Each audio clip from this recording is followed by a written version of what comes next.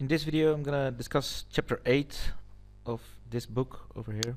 So here are the subjects of this video. I'm gonna show how to create a stress plot with a reference surface, a rotated reference surface. So you can have a look at normal and shear stress in every direction of a part easily with help of SolidWorks simulation.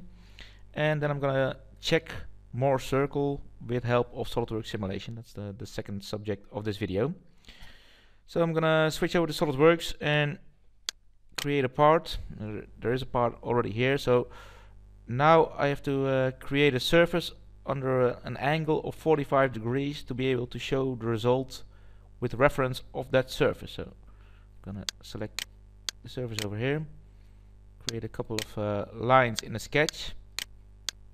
So a help line there and a help line over there and I want to have it under an angle of 45 degrees exactly.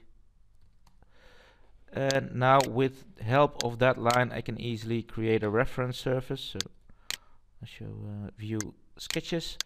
Create a reference surface like that with this line and this point. point and SolidWorks has now got a, a plane that's under 45 degrees relative to the XY surface that you see corresponding to the co coordinate system over here. So now with this part I'm gonna create a new simulation study. And I'm gonna just run the simulation that I've uh, already run in the previous chapters as well. Uh, a normal stress over here normal force on the surface and then reverse direction of a thousand newton like that. So it's a, a tensile stress that's resulting over here. Uh, SolidWorks has already applied the material because it was defined in the part already so I can just easily run the study. Then I'll get the results. I want to have a look at the stress plot in the x direction. So I'll choose x over here normal x normal stress like that. And I can probe that probe here and it's 1.88 newton per square millimeter I see over here.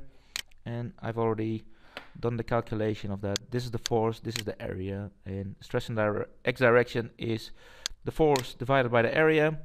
So it's 1.88 newton per square millimeter that I saw in SolidWorks simulation just now as well. So it's the same results luckily in the x direction.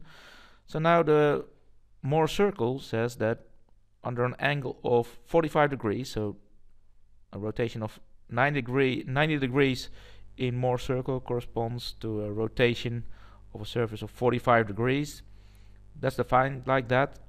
So under a, a rotation of 45 degrees, I will have to have the half of the normal stress you see you see here for a value of 10 and 5 so half of the normal stress which I've calculated over here corresponding to that direction and also half of the shear stress on the y-axis. So the shear stress is over here normal stress is over here for Mohr circle. So this is uh, the stress that I would have to expect for this point. So I can uh, just go back to SolidWorks and see if I can reproduce that. So switch back. Uh, this is the normal stress in the x direction. Uh, I can easily then uh, copy this plot by using copy and then paste. And now it's over here it's a copy plot. And now I'm not gonna have a look at this normal stress in this direction. I'm gonna edit the definition and use advanced options to use this surface as a reference the surface that I've uh, created just now uh, before in this video.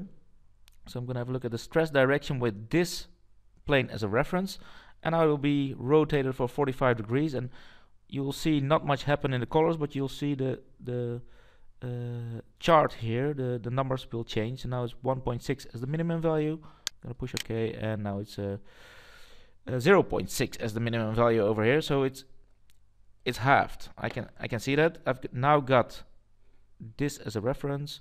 I can probe this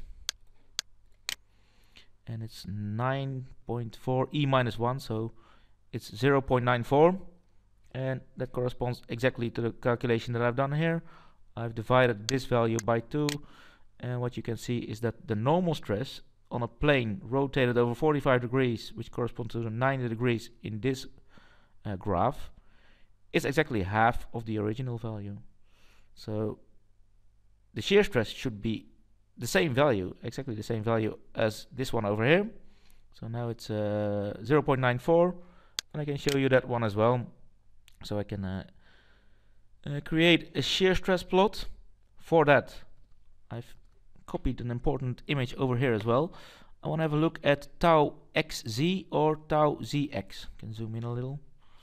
So that's the shear I want to have a look at and that's the shear that should be halved when I rotate the reference plane over 45 degrees as well. So uh, tau xz I should have a look at. So generate the result. Tau xz this one. And it's the same as tau zx which you can see on this image as well. And uh, the discussion on that you can find on many websites and you can also read it in the book that I've shown in the presentation before.